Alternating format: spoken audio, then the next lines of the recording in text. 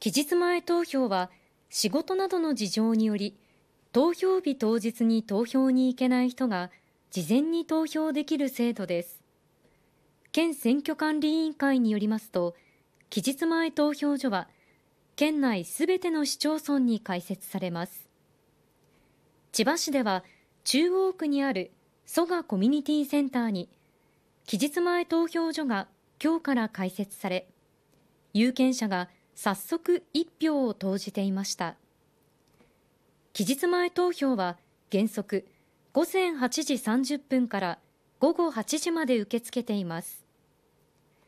前回の衆議院選挙は投票した人のうち35.2%の人が期日前投票を利用したということです。県選挙管理委員会の担当者は大切な一票です。ぜひ棄権せずにあなたの一票を投じてくださいと呼びかけています。